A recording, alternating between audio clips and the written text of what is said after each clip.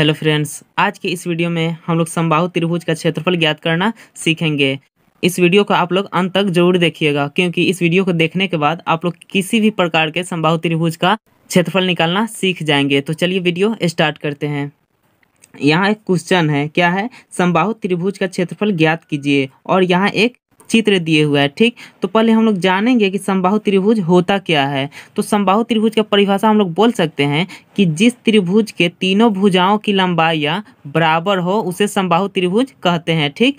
और समबाहु त्रिभुज में जो ये कोण बनता है, प्रत्येक कोण साठ डिग्री का होता है, ठीक? जैसे मान लीजिए, ये एक समबाहु त्रिभुज है तो इस समबाहु त्रिभुज का जो यहाँ तीनों कोण बनेगा, वो प्रत्येक कोण साठ डिग्री का होगा।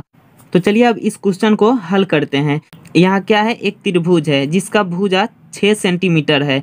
समबाहु त्रिभुज होने के लिए अगर एक भुजा छः सेंटीमीटर है तो वो जो तीनों भुजा है, वो छः सेंटीमीटर ही होना चाहिए। तो यहाँ एक छः सेंटीमीटर है तो तीनों क्या है? छः सेंटीमीटर है, यानी ये एक समबाहु त्रिभुज है। तो इसका क्षेत्रफल निकालने के लिए पहले हम लोग जानेंगे कि समबाहु त्रिभुज का क्षेत्रफल का फॉर्मूला होता क्या है, ठीक?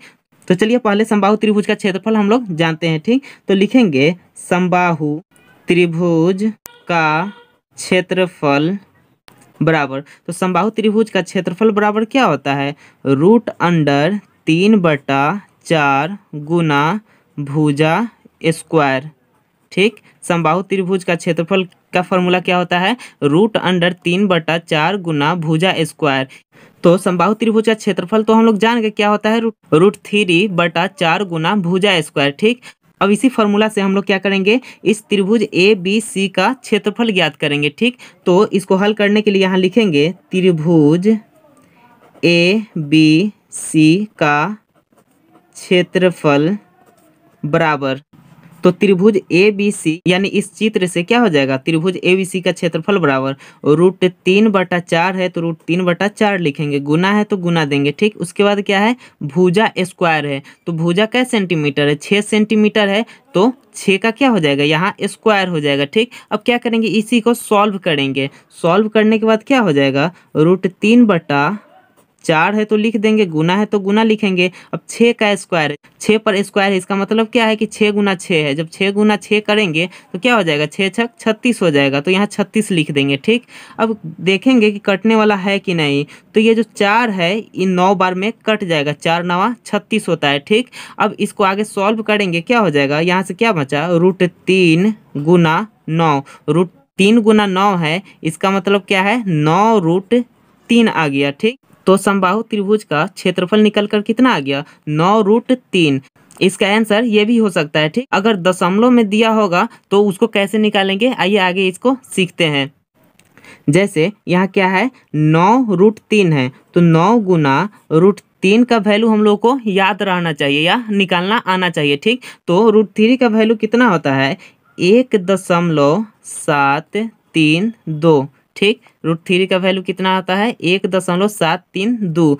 अब इसको आगे सॉल्व करेंगे, क्या हो जाएगा? एक दशमलव सात तीन दो से नौ में गुना करेंगे तो क्या हो जाएगा? नौ दूना अठारह के आठ हो जाएगा, उसके बाद नौ तेईस सत्ताईस, एक अट्ठाईस के आठ हो जाएगा, उसके बाद नौ सत्य तिरसठ दो पैंसठ के पाँच हो जाएगा, ठीक? कितना बचा? छः बचा हासिल, नौ एकम नौ और छः पंद्रह हो जाएगा तो यहाँ पंद्रह लिख देंगे, ठीक? अब देखेंगे कितने अंक के बाद दशमलव है तो एक दो तीन, एक दो तीन तीन अंक के बाद यहाँ यहाँ भी दशमलव हम लोग दे देंगे, ठीक? यहाँ क्या है? पंद्रह दशमलव पाँच आठ आठ, ये संभाव त्रिभुज का क्षेत्रफल आ गया, ठीक? रूट में भी आ गया, ये भी आंसर सही है, और यहाँ दशमलव में आ गया, ये भी आंसर सही है, ठीक? अब यहाँ ध्यान देंगे, अब यहाँ चित्र में देखेंगे कि सवाल में जो भूजा दिए हुआ था, ये सेंटीमीटर में है कि मीटर में है? तो यहाँ भूजा में देखा जा रहा है कि यहाँ सेंटीमीटर में दिए हुआ है, ठीक?